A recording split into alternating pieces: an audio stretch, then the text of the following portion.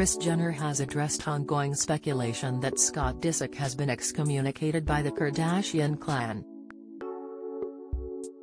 The Keeping Up with the Kardashian star, 66, responded to the rumors after a close friend of the famous family claimed that Kourtney Kardashian's priorities now lie with her new husband, Travis Barker, after the pair tied the knot earlier this year. Before Kourtney, 43, fell head over heels for longtime friend and Blink-182 drummer Travis, 46, she enjoyed an 11-year relationship with ex-partner, Scott, 39. However, since getting married to Travis, eagle-eyed fans have noticed that Scott is nowhere to be seen around the Kardashian-Jenner clan, having previously been a huge part of their family, even after his shock split with Kourtney in 2015.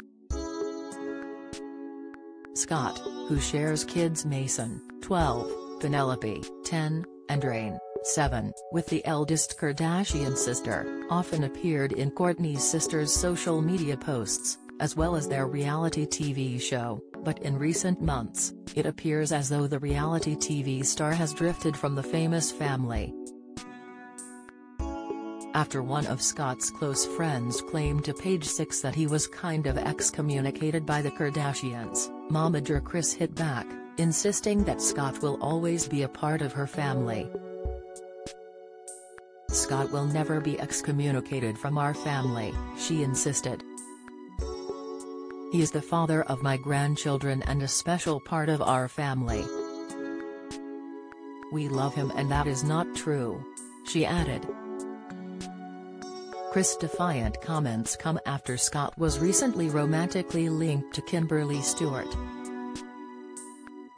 Scott, 39, was seen holding hands with Kimberly, the daughter of singer Rod Stewart and actress Alana Stewart, after the pair enjoyed a romantic dinner date.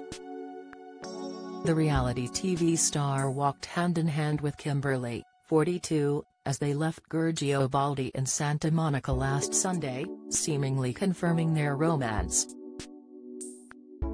Rumors had surrounded the pair for weeks and it seems Scott has now moved on from his infamous age gap relationships. Scott seems to have distanced himself from the ongoing theme of his past relationships, which have seen him date much younger women.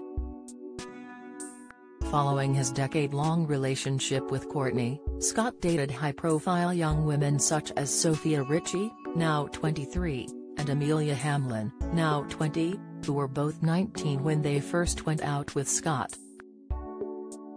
Bella Thorne, now 24, was also 19 when the pair started their short-lived fling.